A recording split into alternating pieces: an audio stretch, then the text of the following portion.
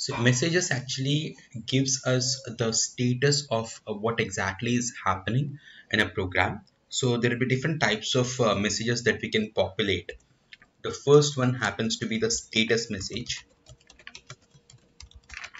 We need to do it. We need to populate with uh, letter S.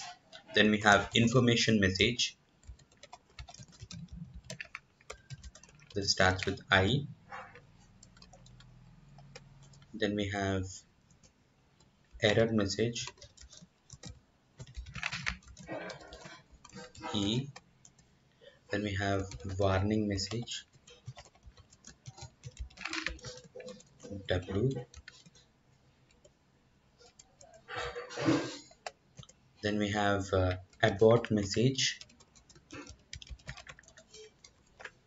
A. Next last is the exit message. X now these are the different types of messages that we can populate in a program. So what we'll do is we'll just quickly write a simple program uh, in which I'll explain you how this get gets populated. So for this like um, we need to first and foremost is we need to create a message class. So the data means the text will be taken from here. Okay what what matter has to be displayed on the screen is taken from this message classes message class text. And uh, the type of message what type of message should get populated it will be displayed from these uh, values. Here okay. So let us go ahead and now create these uh, messages and then see how it works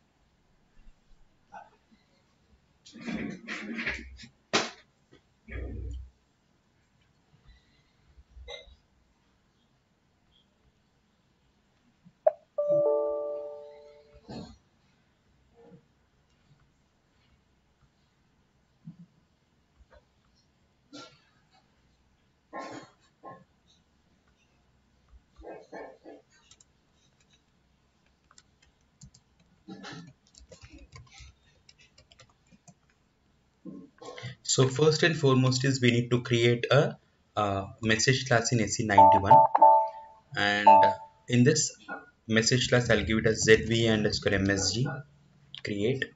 So this is a message class that we're creating. And we're creating it in MS SE91. Now here we have to go for messages. And in this local object then we have 001 color is red. Color is white. So this is a text that will get populated there. Color is green. Color is yellow. Color is brown. And here we'll write as color is unknown these all uh, messages needs to be populated there whenever that uh, when, whenever we keep the condition. So this is the text that gets populated from here nothing else. Type of message we are going to decide within the program. So let me create a program for this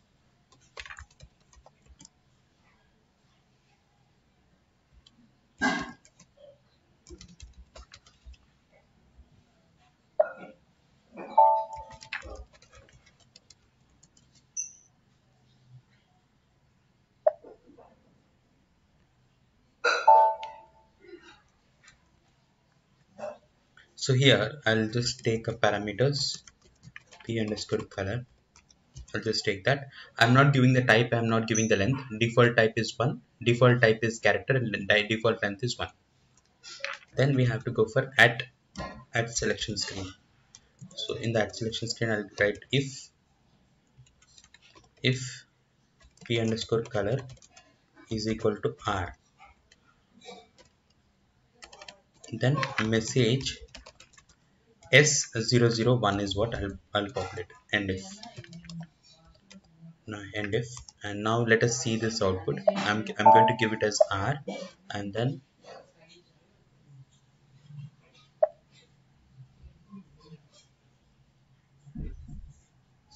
okay message id have to be defined here. We didn't define the message id message id happens to be ZV underscore msg so that from that message id it has to take the text.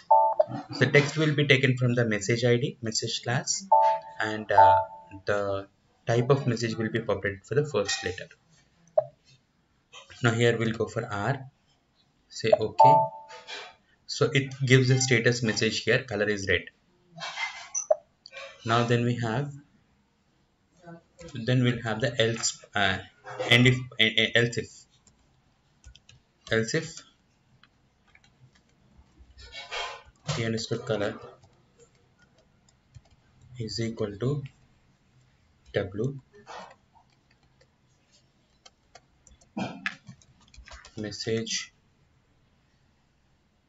Status message is done. Now we'll go for information message. I002 so the type of message is, de is defined by the first letter okay? So first letter defines what exactly is the type the type of messages activate so i'll go for um, w and execute. It says color is white and this is coming in the pop-up. Why it's coming in the pop-up? Because we have given it as information view. So if it's an information information message it will come in the pop-up like this. And it will not stop us to go further. Okay it, you can go further into the into the next screen. So these two types of messages that is status message and information message are both positive. It will not stop you to go further in the next screen. But rest of all the messages will stop you to go further. Okay? It will be eh, till there you you get it and after that you just need to stop. Okay? So let's see the error message now how it populates. So for error message we'll just give it as else if again. P underscore color is equals to g then you have to populate message uh, e003 so let's see that now. So let me give g here. Let me give g here and execute. The moment you say that and enter say color is green is in color is green is coming the text is coming from uh, from the message class but that type of message is coming from the letter. Letter is e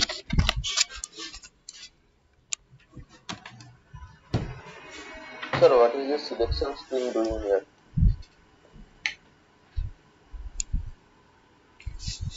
sorry which one that's that is parameter. Yeah, yeah it's the, the parameter. Yeah, at selection screen is an event. Without that event, the functionalities that we are doing on the screen will not work. At selection screen is an event, which we have used in the events program, right?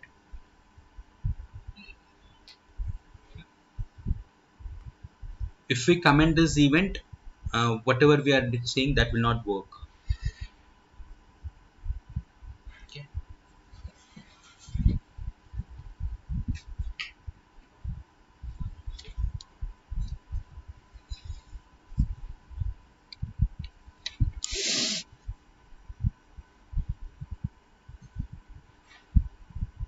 fine.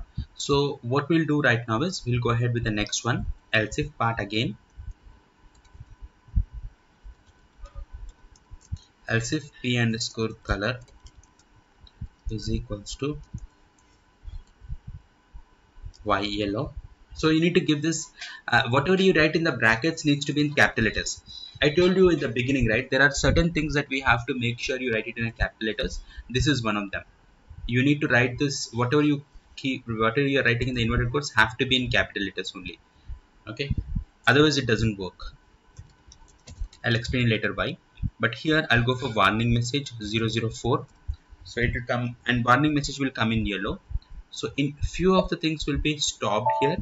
Few of them will not be stopped. So we'll just execute that and go for y and say execute. So it, says color is yellow. Okay uh, spelling is wrong. So I'll just need to correct that. So here we have it in yellow color. We have it in yellow color if you just double click on it you can take that uh, messages.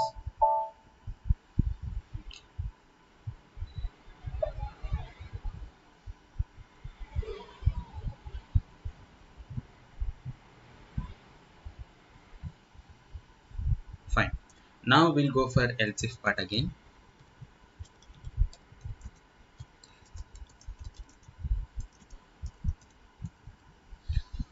Yellow and then we have b brown.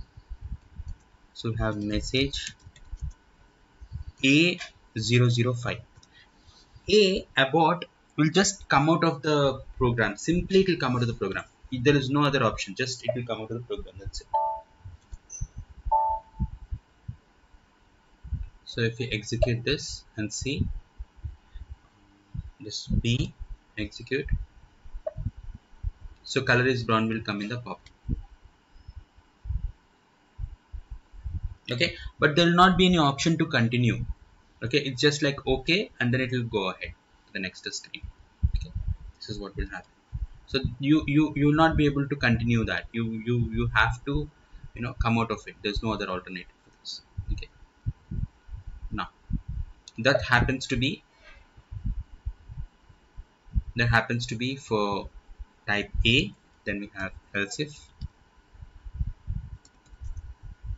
p underscore color. Okay. No not else if else. Else?